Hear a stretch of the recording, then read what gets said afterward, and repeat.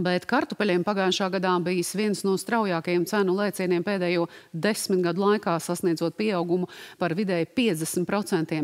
Audzētāji gatavojas jaunajai sezonai, cerot, ka laikapstākļi būs pietiekami labvēlīgi, lai pēc diviem neražas gadiem beidzot sagaidītu labu rezultātu. Turpina Ilze Daukante Sterģe no Zemgales reģionālās televīzijas.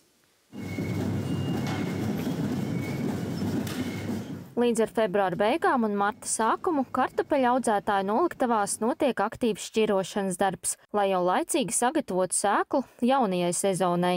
Mēs parasti sākam sēklu šķirot februāra beigās. Un, nu, tagad tas periods, kad audzētāji izvērtē to situāciju, kāda sēkla viņiem vajadzīga, jo uz viņiem attiecas regulējušie noteikumi par karantīnas slimību apkarošanu. Un uzlikts ar likumu pienākums katru gadu vismaz 10% platības stādīt certificētu sēklu.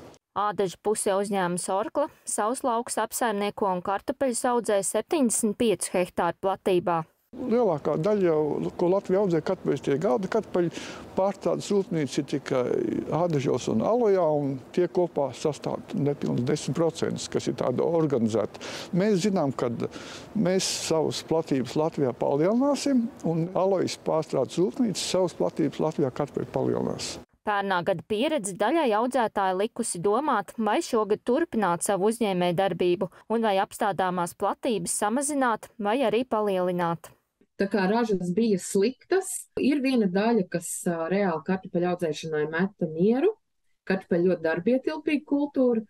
Savukārt ir arī nu, nemazums, kas sāk no jauna. Saka, nu, kaut ko darīšu, nu, man nav graudaugu platības, sākšu ar kartupeļiem. Šogad kartupeļu audzētājiem būs vairāk pieejama auga aizsardzības līdzekļi, lai cīnītos pret Latvijā izplatīto kaitēkli Kolorādo vaboli. Savukārt privātiem mazdārziņu īpašniekiem nāksies tikt galā pašu spēkiem, jo šāda ķīmija vairs netiks pārdota. Kartupeļu ražu ietekmē arī slimības, tādēļ tieši šobrīd audzētājiem ir izšķirošais brīdis sēklas kvalitātes izvērtēšanai. Tie izaicinājumi būs jebkurā gadījumā, bet audzētājiem ir iespēja skatīties pēc šķirnes, kas ir gan sausuma izturīga, gan arī izturīgāka pret uh, slimībām kā piemēram lakstu pūlu un sausloku mainība. Tātad šobrīd ir jau šķirnes, kas ir atbilstoši šiem nosacījumiem, un tālāk tas ir audzētāja ziņā. Tas, vai šogad kartupeļs paliks dārgāks, pēc ekspertu norādēm, teikt ir grūti. Te nāk klāt ikgadējie faktori eh, ražas cenai, ko zemnieki jūt. Tad laika apstākļi, varbūt kaut kādi sausumi, plūdi, plūdi vai vēl kaut kas, ko nevar prognozēt. Bet tā kardināli tā cena mm, droši vien nemainīsies. Pērn rudenī par kilogramu kartupeļu ražotāji saņēma 20 centus bez pievienotā vērtības nodokļa, kas ir divreiz vairāk salīdzinot ar 2020. gada rudeni. Ilis Daukants Sterģe, Mikus Andersons, Zemgals reģionālā televīzija.